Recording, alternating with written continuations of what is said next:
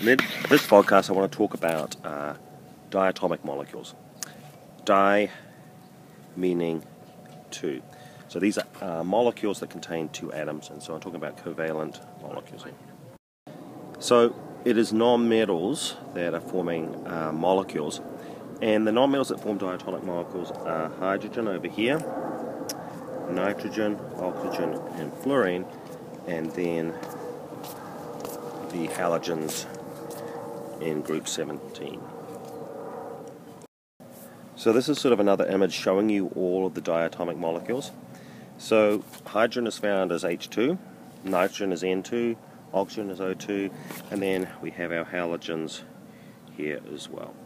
So whenever we talk about or we write an equation where I say oxygen is in there, you need to know that I actually mean oxygen as a molecule, O2.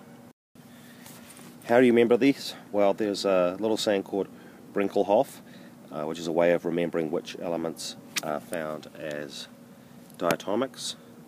Bromine, iodine, nitrogen, chlorine, hydrogen, oxygen, and fluorine. So Brinkelhoff is one way in which you can try and memorize which elements form diatomic molecules.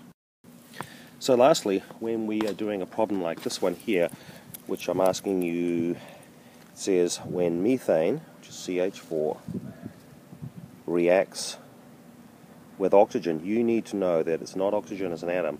I'm talking about an oxygen as a diatomic molecule.